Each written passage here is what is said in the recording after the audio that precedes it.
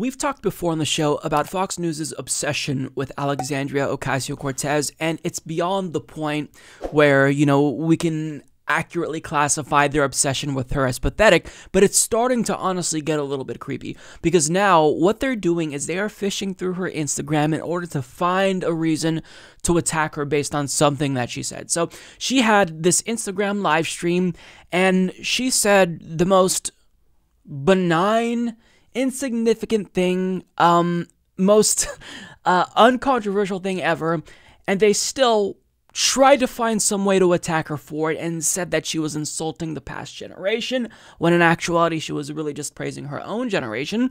But they didn't really know how to attack her, that was evident. So, what this segment turned into was essentially them just bashing millennials. That's what this was. It was an anti AOC segment that devolved into a millennial bashing spree. And then towards the end, they are going to reveal that all the problems that they have with millennials are actually applicable to them as well well. Not even kidding. So everything that they say will be disqualified after they say, oh, well, you know what? This thing that I hate about millennials is also true for me. It's just, it's unbelievable. Fox News, I mean, to say that they're a joke is the understatement of the century. But let's watch, and then I have a lot to say. Progressive darling Alexandria Ocasio Cortez is turning some heads in her latest Instagram live video.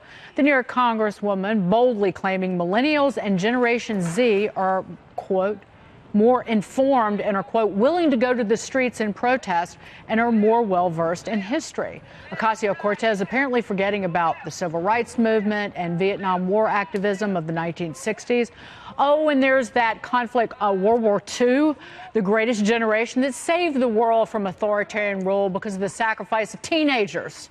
Here's Ocasio Cortez. This is great. I think that um, they're badass. I think young people are more informed and dynamic than, than their predecessors. I think they're profoundly courageous because they're willing to puncture taboos and conversate and have conversations that frankly older generations sometimes struggle to have. Hello, Brian. Yeah, they took to the streets to celebrate buff. victory against fascism and Nazism. Same thing. Took to the streets when uh, uh, when they were actually trying to fight for our freedom, and they actually did take to the streets in the Depression to get food. So that was lining up in a su- uh, soup lines and bread lines. So it's unbelievable that the people at Boston University must be just cringing, holding their heads under the desk right now. She graduated and feels she's part of the greatest generation. Hey, our military is as good as it ever is, but as a right now as a society, there's a reason. Uh, if you watched the D-Day celebration and you saw who fought and what was at stake, I, uh, you'd be embarrassed. I can't believe you're dissing the millennials, Brian. I'm so offended right now. Well, I think millennials should stand up and defend the greatest generation. No, I completely agree. Look, there are a number of uh, people in our generation who have done amazing things. The people who joined the military after 9/11, that was a defining moment of our generation. Uh, people in the tech industry, Mark Zuckerberg, who created Facebook. I know there's a lot of questions and problems with Facebook, but it changed the world. Um, but this idea that we're going to say that we are better than the greatest generation that saved the world from authoritarianism, Nazism, communism, um, really is quite disrespectful and ironic considering she's saying that previous generations don't know about American history when they're the ones who uh, set it up so we have a free future. I think that part of what has happened here is it's this this AOC Instagram Live in and of itself is reflective of the self-absorbed culture that we currently live in. And I hate to diss millennials too, and I cling to my Gen X oh, status. Okay. Don't worry. Um, I, I, you know, uh, present company excluded. But you know, Thank you. honest to God, I mean, what I see here is a self-absorbed generation that thinks that because they tweet and because they march with funny hats, that somehow that they have some sort of moral superiority um, that is going to change the world. I, I, my grandfather, who served in World War II, would beg to differ. The greatest generation my, stormed Normandy Beach so that she could Instagram live in her kitchen. That's right. Thank there you go. Right. With full face of makeup, I want to point out, and we left out all the kind of completely off the charts discussion about climate change, but yeah, the one that she also does on Instagram yeah about the diseases I being use frozen Instagram in the ice all the time too. So Me too. I, Me too. I love that Instagram. person that you were talking about. So they complained about how self-absorbed millennials like AOC are. You know, we're always taking selfies and we're on the Twitter and the Facebook, and then they admitted, "Oh, I actually love Instagram." This AOC Instagram Live, in and of itself, is reflective of the self absorbed culture. 12 seconds later. Me too. I love that Instagram. person that you were talking about. Me too. I love Instagram. Person that you- So, what was the point of you criticizing AOC? How is millennials, uh, you know, seeming obsession with social media relevant to what she said about her generation being awesome? And second of all, are you honestly saying that uh, older generations, Gen X and boomers, don't like social media? Because there's literally subreddits of basically just boomer posts. It's called Insane People Facebook everyone is on social media because we have access to the internet. A lot of people do. So we're just all on social media. In fact, I think that platforms like Facebook are probably more popular among older generations, and Instagram is more popular among uh, younger generations. So I don't even know how that cri- uh, criticism was relevant. But for them to just basically criticize AOC and millennials for one thing and then admit that they're also guilty of that, it shows that they they had no objective going into this segment. They just watched something of AOC and they tried to look for a reason to criticize her. See, that just makes you look like hacks. And let's get to AOC's quote here. Quote, I think they're badass, meaning her generation. I think young people are more informed and dynamic than their predecessors. I think they're profoundly courageous because they're willing to puncture taboos and have conversations that, frankly, older generations sometimes struggle to have. How is that controversial? How is that something that is offensive to you? How is that disrespectful to previous generations? How? It's factually correct. Think about this. She says that we're more informed and dynamic than our predecessors. We have cell phones now. All of us have cell phones. We literally have infinite knowledge at our disposal anytime we need it. Previous generations did not have that. Access to information had more barriers. You had to listen to the radio or, you know, read the newspaper, but you couldn't specifically seek out a very you know, a specific set of information or knowledge about something unless you went to the library. Now we can stay home. I can learn about something while I'm taking a dump. That's what she's talking about here. Access to the information that we seek to grow and educate ourselves with has increased. How is that controversial? Um, she also says that our generation is more willing to puncture taboos. How is that debatable? LGBTQ people have existed since human beings have existed. But yet, we're only talking about that now because my generation has pushed the envelope. We've been open about our sexual orientations and gender identities, whereas that really was taboo for the previous generation. Now, it's probably going to be the case that there are taboos now that my generation won't discuss, that the next generation will. That's just the way that, you know, society functions. You know, there's always growth. Uh, society is always growing. We are always changing. We're just a dynamic species. That's what we are. So, how is what she said disrespectful to uh, the previous generations? And all that they could, you know, invoke is people who fought during World War II. So basically, oh, well, really? Millennials are better? What about the people who fought during World War II? Okay, I'm sure that she would say that she respects them. What's your point? It's not an insult to say you think your generation is the best. That's not an insult. Is it an insult to every other country to say that you think America is the number one country? Because we all know that the nationalists over at Fox News would say that. So I just, I, they are going out of their way to look for reasons to be offended. It's almost as if they're like the snowflakes they frequently denounce on their program. But here's what Brian Kilmeade said. He just straight up made word salad. I don't even understand the point he was trying to make. She graduated and feels she's part of the greatest generation?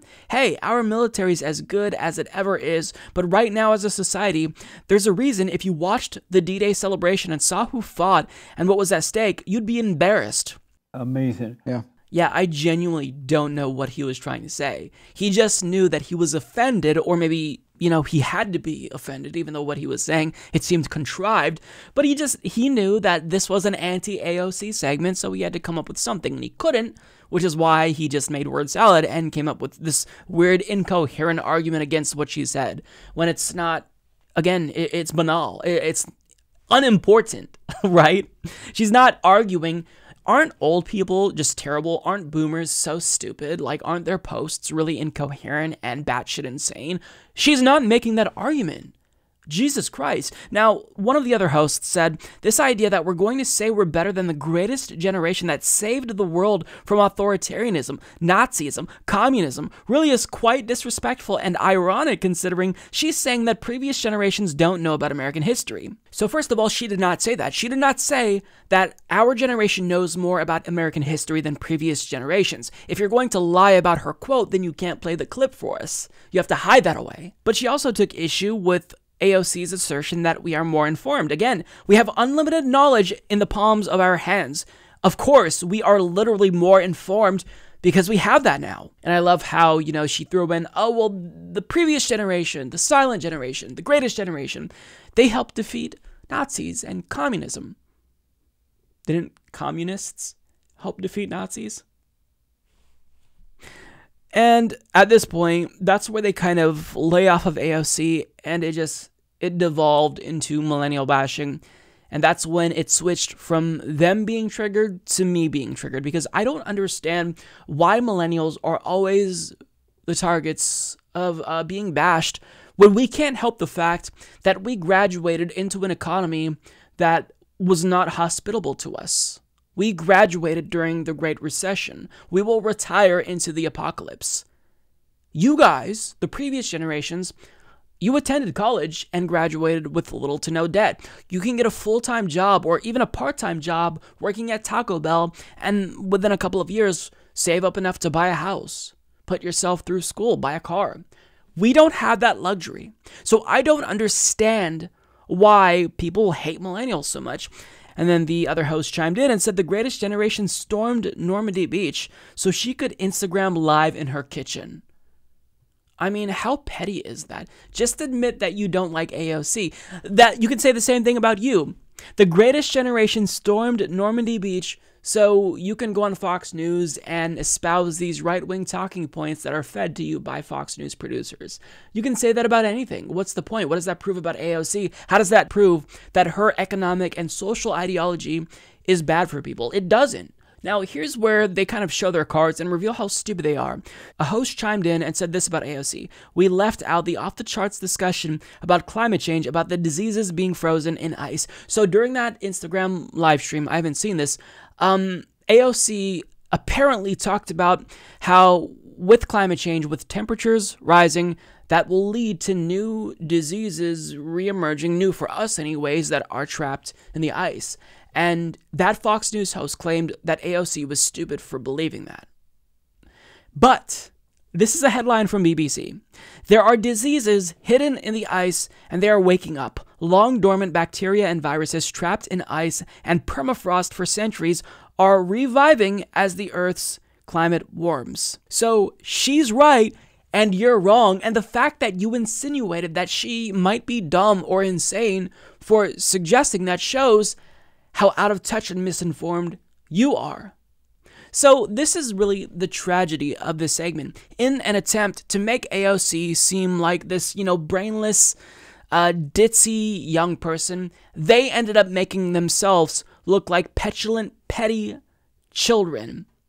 And it's just, I honestly, I feel bad for them. Well, I don't really feel bad for them, but I feel bad that they had a goal, they had this objective to attack AOC, and they just ended up putting out this cringe inducing segment where it just showed that we just attack AOC for the sake of attacking her because she is a political opponent and we're going to do whatever we can, whenever we can, to try to make her look bad. So if that means we've got to creep on her Instagram and try to see if she says anything, you know, that might be deemed controversial possibly, or maybe we can misinterpret to sell to our audience as controversial, I think that that would behoove us to do. I mean, they had to have thought, what are we supposed to do with this segment? What are we supposed to say about this clip? This isn't really an issue. I don't care about this. Is this really something that we should be attacking her for? When, I mean, maybe we can bring up something else that we disagree with, maybe a policy. They're just. they're just stupid and they only embarrass themselves here and they're only helping AOC um, because they're boosting her name recognition and they're making themselves look idiotic in the process. So I guess keep it up because it's not hurting her, it's only helping her and hurting you. Subscribe if you like this video, folks. Mike's tremendous and he's doing a really, really good job. Many people are telling me about how wonderful the Humanist Report is. Bigly.